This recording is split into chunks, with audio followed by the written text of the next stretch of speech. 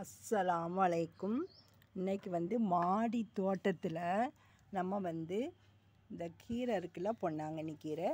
இதை வந்து இன்றைக்கி கட் பண்ண போகிறோம் பாருங்க ஒரு மாதத்திற்கு இரண்டு தடவை நம்ம வந்து இந்த பொன்னாங்கண்ணி கீரையை வந்து நம்ம எடுக்கிறோம். இப்போ பூ வச்சுட்டு ரெண்டு மூணு இதில் பாருங்க பூ வைக்காத கீரையை ஃபுல்லாக நம்ம எடுத்துரும் நீங்கள் வந்து ஒரு மாதத்தில் ரெண்டு தடவை வந்து இதை அப்படி கட் பண்ணிருங்க பாருங்கள் எங்கெல்லாம் வளர்ந்துருக்கு பாருங்கள் எவ்வளோ வளர்ந்துருக்கு. இதை இன்றைக்கி நம்ம கட் பண்ணிடும் நம்ம வந்து வீட்டில் உள்ள உரம் போட்டு வைக்கிறதுனால எந்த விஷத்தன்மையும் கிடையாது. இந்த கீரை வந்து கண்ணுக்கு வந்து ரொம்ப நல்லது.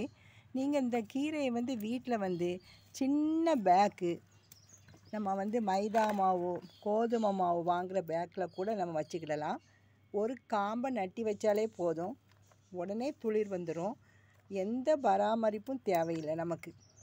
வீட்டில் உள்ள காய்கறி கழிவு வெங்காயத்தோல் இதை வச்சாலே நம்ம போதும். கீரை வந்து தேவையான அளவு நம்ம கீரையை வந்து வீட்டிலையே நம்ம வந்து பறிச்சுக்கிடலாம். இது நான் வந்து பத்தாவது முறையாக இந்த கீரையை வந்து நான் வந்து கட் பண்ணி விடுறேன். பாருங்க அப்போ ஒரு க்ரோ பேக்கில் வச்ச கீரை நம்ம எத்தனை முறை நம்ம வந்து அதை வந்து எடுக்கிறோம். நம்ம கடையில் நான் கீரை வாங்கவே மாட்டேன்.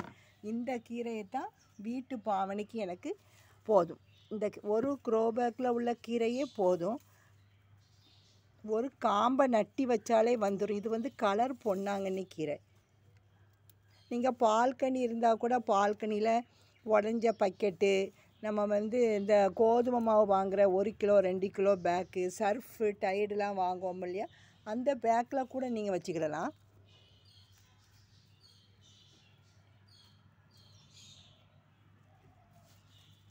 பூ வந்து வர்றதுக்கு முன்னால் நீங்கள் பறிக்கிறது நல்லது.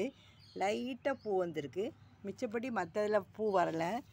பூ வர்றதுக்கு முன்னாடி நீங்கள் அதை கட் பண்ணி எடுத்துருங்கோ.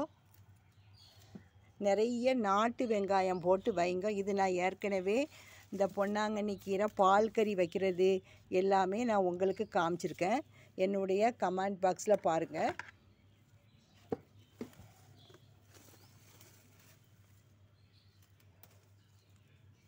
எந்த தட்பவெட்ப நிலைக்கு இது வளரக்கூடியது. இந்த கீரை வந்து எல்லா காலத்திலும் நமக்கு கீரை வந்து நம்ம பறிச்சுக்கிட்டே இருக்கலாம். தேவைக்கு ஏற்ற அளவு நம்ம கீரை பறிக்கலாம்.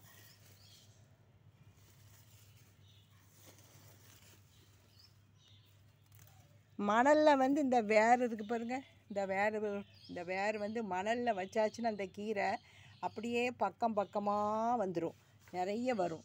இது மணலில் நம்ம வைக்கலை. இது க்ரோ பேக்கில் தான் நம்ம வச்சுருக்கோம். எவ்வளோ நீளம் வளர்ந்துருக்கு பாருங்கள் பாருங்கள்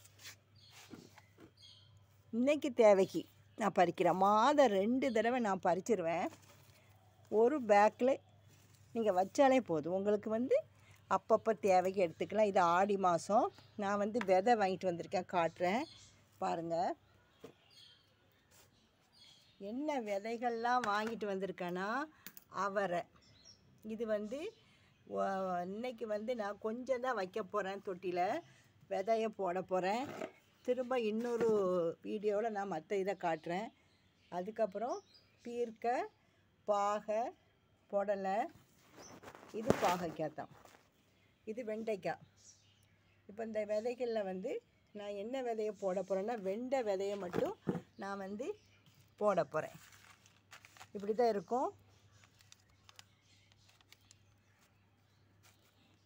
பாருங்கள் இப்போது ஒரு தூர வீசுகிற ஒரு தர்மாக்கோல் பெட்டியில் எடுத்து வச்சுருக்கேன். அதில் வந்து மண் கலவை போட்டேன். ஒரு ஆறு ஹோல் போடுங்க. லைட்டாக ஒரு இன்ச்சு ஒரு இன்ச்சு இதில் போட்டு ரெண்டு வித்து. மூடிடுங்க திரும்ப ஒரு இன்ச்சு. திரும்ப ஒரு இன்ச்சு.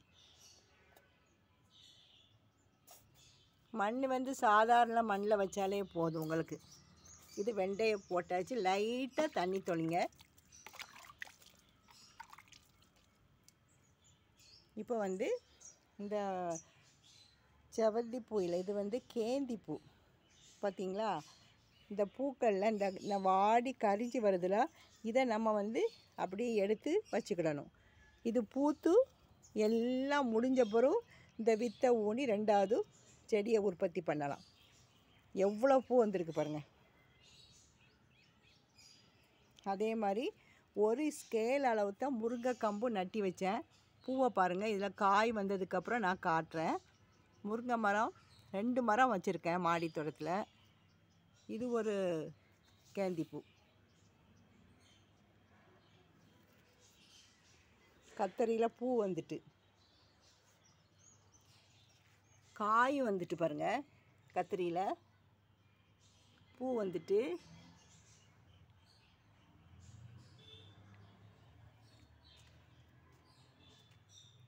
இதுலேயும் பூ வச்சுருக்கு பாருங்கள் முருங்கைக்காய் பாருங்கள்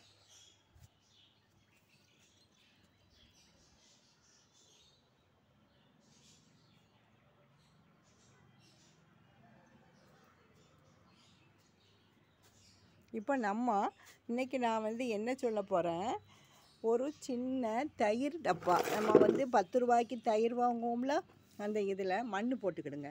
அதே மாதிரி குட்டி குட்டி தொட்டியில் போட்டு இது வந்து வெங்காயமும் வெங்காயத்தில் நம்ம சமையலுக்கு பண்ணுற சின்ன உள்ளியில் பொடிசாக எடுங்க. இதை வந்து ஒரு மண் போட்டு இந்த பகுதியை வந்து கீழ் பகுதியில் வச்சு இப்படி ஊனிருங்க. இதை பாருங்கள் இந்த இருக்குல்ல? இந்த பகுதியை கீழே பார்க்கா. பொடியான பகுதியை மேலே பார்க்கா. அப்படி வச்சு இப்படி ஒரு சின்ன தொட்டியில் ஊனி வச்சுருங்க. அப்படி ஊனத்தான் இப்போ தழுத்து இருக்குது வெங்காயம். இந்த வெங்காயத்தை பகலில் வெயிலில் வச்சு இந்த தொட்டியை வைங்க.